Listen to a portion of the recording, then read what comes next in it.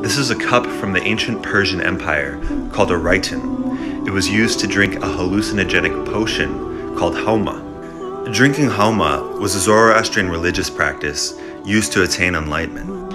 Here you can see a Zoroastrian priest with his mortar and pestle, which was used to break down psychoactive plants, which were then mixed with warm milk. This practice originated with earlier pastoral nomadic cultures such as the Yamnaya, corded ware, Sintashta, and Andronovo in the Eurasian and Pontic Caspian steppes. These were also some of the first cultures to use the chariot. The chariot allowed them to spread quickly across Eurasia, from Europe all the way to northwest India. Here, they continued the same tradition of drinking what they called soma and wrote about it in their religious book, which is called the Rig Veda and is one of the oldest known religious texts at about 3,500 years old.